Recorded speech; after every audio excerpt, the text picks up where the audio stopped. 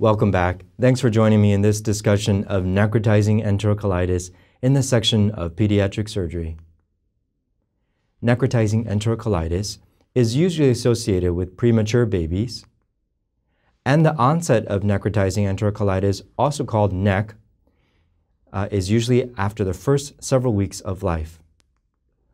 Although there is an association with bottle fed babies and that the symptoms occur generally after the first few feeds, babies who are not bottle fed can certainly develop necrotizing enterocolitis as well.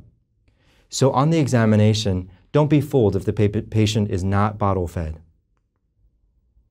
What are some physical findings of a baby who has potential NEC? Vomiting diarrhea, perhaps abdominal distension, coupled with some wall erythema. Although note, an abdominal wall erythema is potentially a late finding. And sometimes babies have bloody stools. How does this baby look to you? Well, it's difficult to tell sometimes based on looking at the baby alone. Oftentimes, pediatricians will tell you babies who fail to thrive, again, fail to thrive, meaning they're not progressing day by day as expected. If you look closely here on this picture, the baby has a little bit of erythema around the central abdomen. Abdominal distension is difficult to tell, particularly in a newborn. All of their abdomens look a little protuberant. Now, let's visit some specific findings. Babies who are noted to be apneic or have respiratory failure. These are also important findings in any baby who isn't doing well and not, has failure to thrive. Lethargy, shock and hypotension.